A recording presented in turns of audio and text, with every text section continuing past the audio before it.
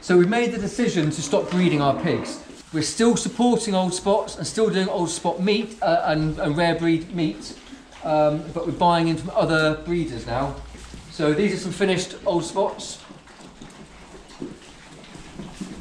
And then the newest addition to the farm is this little group of very cute Oxford Sandy and Blacks.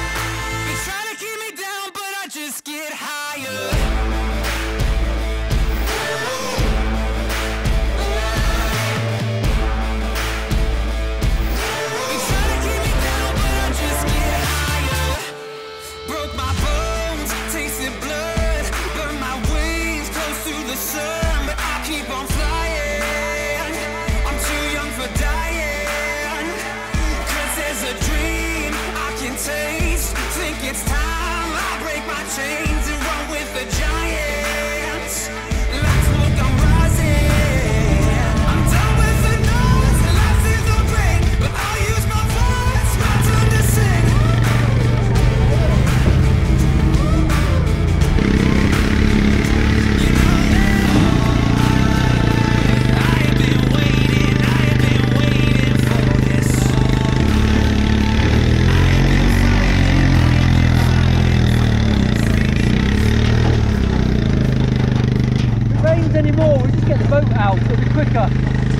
Did some fence repairs this week. We've fenced two new fields and did some repairs while the contractors were here. So these hurdles have been patching up a hole where this tree came down in Storm Dennis. So gonna use the hurdles to patch a couple of gaps in the field where the sheep are about to go. But I haven't had time to finish and it's gonna get dark. So we at least get them moved and get them secure.